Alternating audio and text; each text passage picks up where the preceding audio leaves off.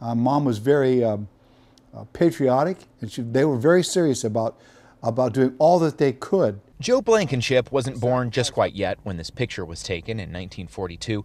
America was at war, and his mom, Naomi Parker Fraley, went to work at a naval shipyard in California. Had a fiery temper. She didn't take guff off anybody. This picture ran in a newspaper story at the time.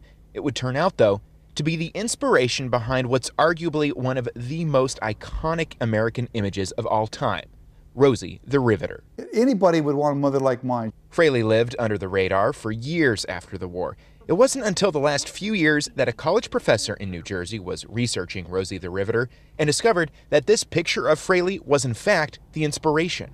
Blankenship, who lives in Kelso, always knew her as mom. She believed in we were all equal. Today, Fraley's legacy lives on across the U.S. and in classrooms in Portland. Oh, they're future Rosies. At Oregon Tradeswomen, instructors here are providing training to women for construction jobs, groundwork Fraley and others laid decades ago. But I would say to her, I would say to Naomi and the other Rosies, thank you.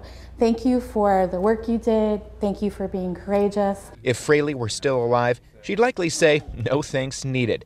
She never sought fame or fortune for being the original Rosie. It wasn't about her. Right. It was about thousands of women uh, in in the war effort and thereafter.